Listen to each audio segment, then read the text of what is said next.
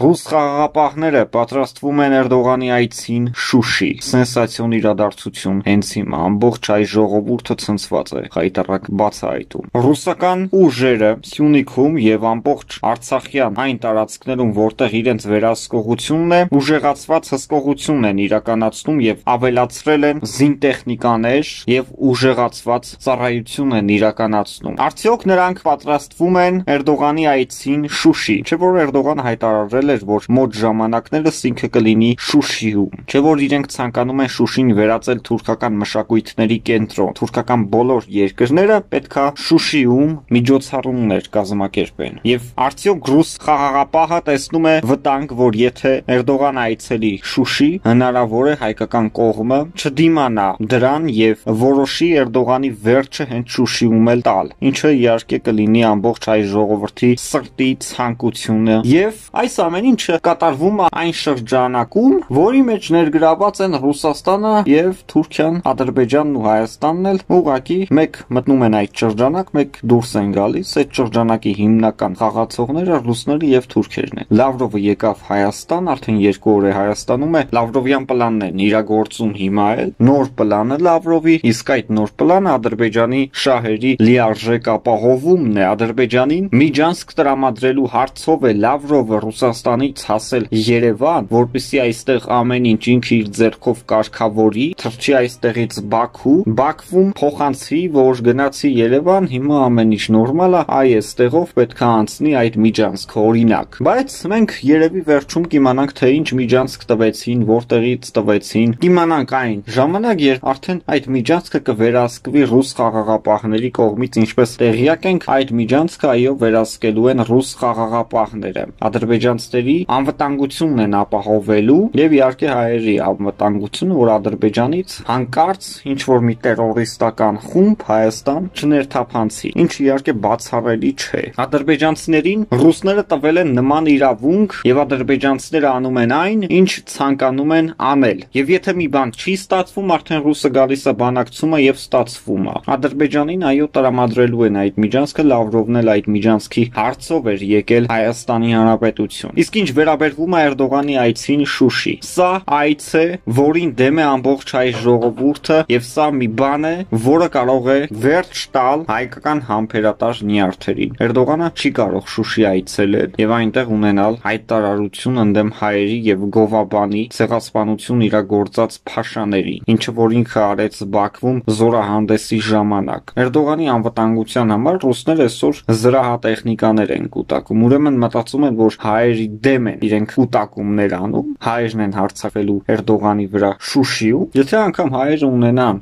նման ծրագիր, ինչը որ բացառվում է իհարկե, միանշանակ դա ողջունելի կլինի ոչ միայն Հայաստանի ժողովրդի համար, այլ ընդհանրապես ամբողջ քաղաքակիրթ աշխարհը դրան հաստատ դրական է արձագանքելու, եթե Էրդողանը իր վերջին վարքյանները ապրի հենց Շուշիում։ Շուշին դեռևս պատերազմական գոտի է, չի կարող որևէ երկրի ղեկավար այցելել Շուշի։ Շուշին Ադրբեջանինը չէ, Շուշին 7 շրջանների մեջ չի մտնում։ Շուշին պետք է համարվի ապօրինի զավթված գոտի եւ Շուշիի համար դեռևս բանակցությունները պետք է ընթանան Շուշիի յետ հանձնման եւ Շուշիից ադրբեջանական զորքերի հանման պահանջով, ինչը իրականում այդպես էլ պետք է լինի։ Հայաստանը չի կարող հանդուրժել 7 շրջաններից բացի Ադրբեջանի կողմից գրաված մնացած բոլոր տարածքների ադրբեջանականացումը։ Լավրով եկել ճանապարհ է խնդրում հայերից։ Չի ասում, որ եթե ուզում եք խաղաղություն, ուրեմն պետք է 7 շրջաներով բավարարվեք։ Սա պետք է ինքը ներկայացնի Ալիևին, հասկացնեն, որ 7 շրջանները տված է,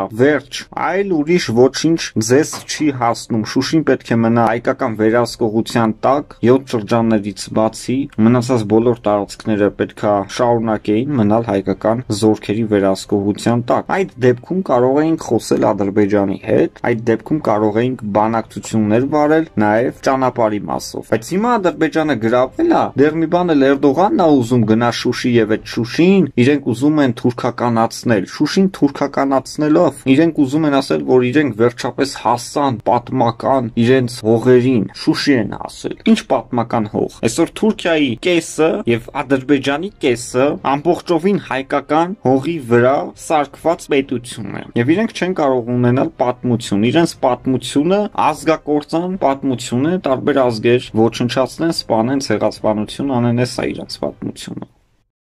Եվ այսպես ուշադրություն։ Միմյանց հասցեին հնչեցվող վիրավորանքներ, հայհոյանքներ եւ իհարկե վեճ։ Այսպիսի իրավիճակ է տիրում վրաց ադրբեջանական սահմանին։ Ադրբեջանցիները ցանկանում են վրացիների հետ սահմանի ուղությամբ սահմանին կից բացել հանք, իսկ վրացիները դեմ են եւ այդ սահմանամերձ գյուղերում ապրող բոլոր վրացիները ոտքի են կանգնել եւ Ադրբեջանի արչեւ դրել են պահանջներ, եթե Ադրբեջանը շահագործի հանքը, որը գտնվում է ուղիղ սահման ժամանակից, որով իրենք մտածում են, որ վտանգի տակ է դրվում շրջակա միջավայրը եւ դա շատ լուրջ խնդիրներ է առաջացնելու վրացիների համար, նաեւ դա որպես զբոսաշրջային գոտի է ծառայում վրացիների համար եւ մտահոգվում են, որ հանքից հետո այլևս իրենց զբոսաշրջային գործնեությունը կկանգնի։ Ադրբեջանցիների հետ խայտարակ հարաբերությունները. Վրացիները սպառնում են, որ եթե Ադրբեջանը մտածի հանքը շահգործելու մասին, ադրբեջանցիներին վռնդելու են Վրաստանի տարածքից, իսկ Վրաստանի տարածքում ադրբեջանցիներ շատ կան բնակվող եւ այդ ադրբեջանցիները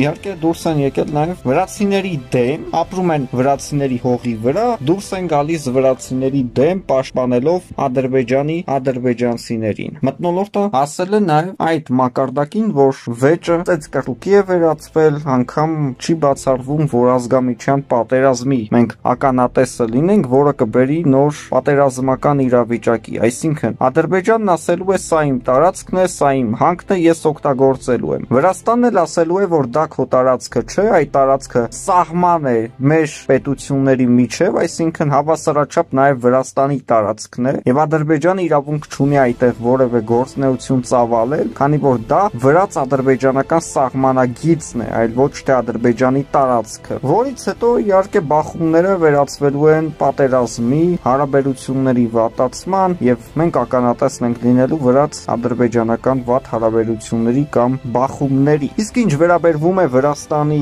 վերաբերմունքին վերջին շրջանում թե Թուրքիայի, թե Ադրբեջանի նկատմամբ եւ հայոց ցեղասպանության ճանաչման վերաբերյալ, վրացիները միշտ փորձում էին իրենց պահել նեյտրալ այս հարցով, ոչ այս կողմ, ոչ էլ այն կողմ, բայց այս շրջանում վրացիները ապացուցեցին մի բան, որ իրականում այո, իրենք ունեն մտավախություն ադրբեջանցիների եւ թուրքերի կողմից, Թուրքերը ցանկանում են Բաթումին, ադրբեջանցիները ցանկանում են Վրաստանից այլ տարածք եւ Վրաստանը դառնում է թուրք-ադրբեջանական ցանկությունների վտանգավոր գոտի։ Այո, Վրաստանում կան տարածքներ, որոնց վրա թուրքերը ունեն աչք, ադրբեջանցիները արդեն ապացուցեցին, որ իրենք այլևս չեն համբերում եւ ցանկանում են վրացիներին շարքից անել եւ իրենք օգտագործեն այդ սահմանակից հանքը։ Ինչը չի ստացվելու, եթե իրենք մտածում են կարողանալու են վրացիների հետ գլուխ դնել, դա բացառվում է